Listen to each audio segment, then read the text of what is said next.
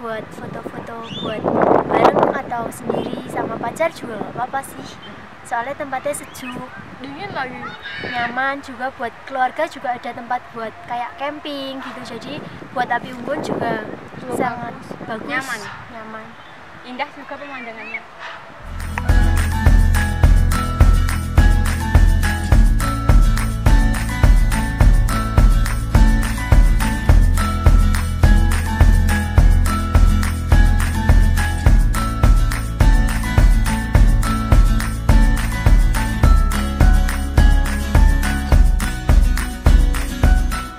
untuk Bukit Sakura Lawu yang dikembangkan dari pihak perhutani dan bekerja sama dengan kami LMD Adona Lestari Gondosuli maupun Po Darwis.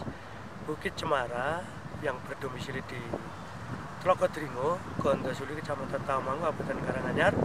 Yang bentuknya sudah seperti ini. Kita mulai pembersihan pembangunan objek wisata ini kita mulai eh, Januari 2016 dan alhamdulillah untuk eh, Lebaran kemarin kalau nggak salah persisnya tanggal 14 Juni itu sudah kita buka. Eh, ternyata pengunjungnya juga sudah banyak. Untuk teman-teman di luar sana jangan bosan-bosan untuk berwisata atau berrefreshing ke puncak yang udaranya seperti ini. Udaranya sejuk dan masih bersih eh, lepas dari apa eh, cuaca-cuaca yang kurang menyehatkan bagi kita semuanya.